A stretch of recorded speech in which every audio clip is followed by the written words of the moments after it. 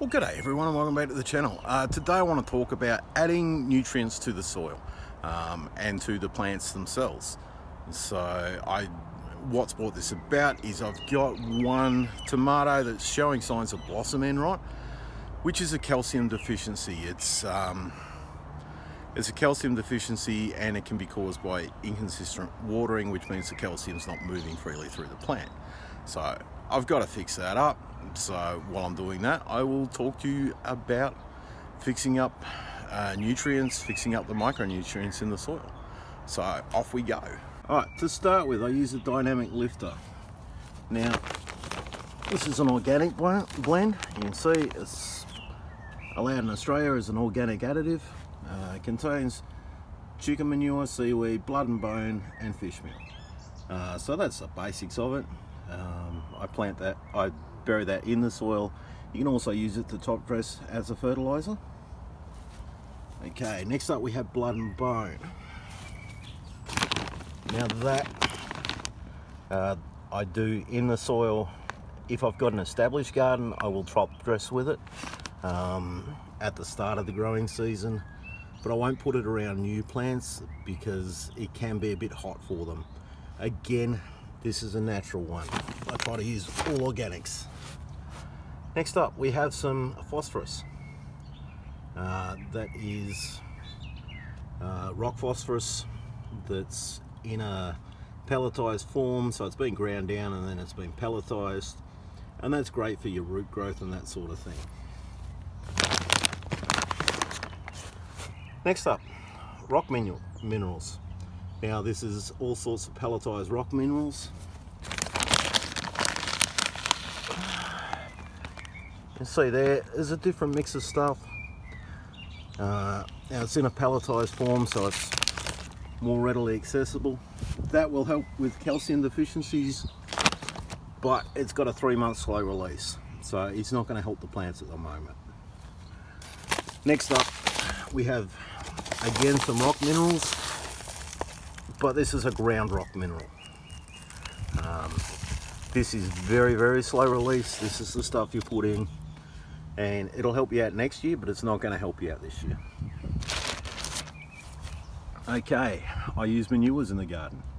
At the moment, they're bought in manures and they are composted manures, so they're not too hot for the plants.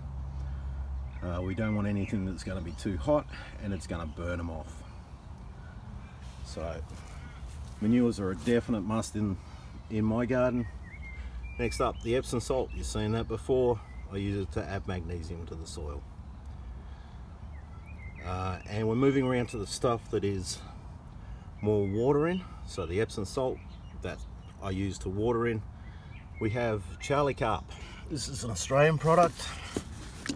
Uh, we have a carp problem in some of our river systems. They use the carp to make a fertilizer.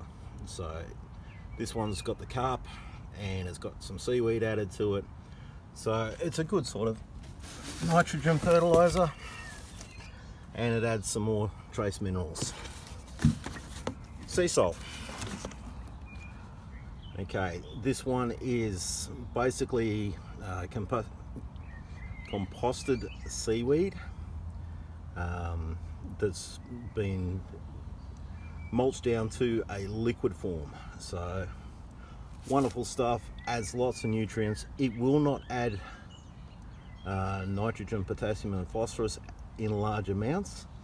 So it's not really a feed, it's more for supplemental micronutrients. All right, next we're moving on to the calcium deficiency that I've got.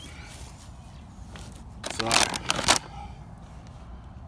it may seem weird, but skim milk powder. You know, any good baker's got this stuff sitting in the cupboard because I add it to dough all the time. So I just mix it up. Couple litres of water, uh, four pints or two quarts for the Americans, and two tablespoons of milk powder. And I just use it as a foliar application. So I'm just going to spray it on the leaves, but I'm going to do it at the end of the day. As you saw a second ago, it's still pretty bright out, and I don't want the plants getting burnt by getting water on them. So I'm going to use it as a foliar application just at the end of the day when the sun's going down and the plant will take it up through the leaves and that will help to solve any calcium deficiencies because it's right up in that growing zone. So that's the way you try and work your way around blossom end rot. You know, it's a bit of a tricky one to get around. Ideally, you want to solve it before it starts. But with a new garden like I've got, it's very hard to know what's going to happen as you go through the growing season. So, you know, this is the way to get around it. And blossom end rot can happen in tomatoes, pumpkins, anything in the cuboid family. Uh, and again, is because that calcium. Thank you very much everyone for tuning in. Um, please hit the like, hit the subscribe, hit that little bell notification so you know when I've got further videos coming out in Shed Wars or any of the other ones I do. Again, thank you very much for watching and bye for now.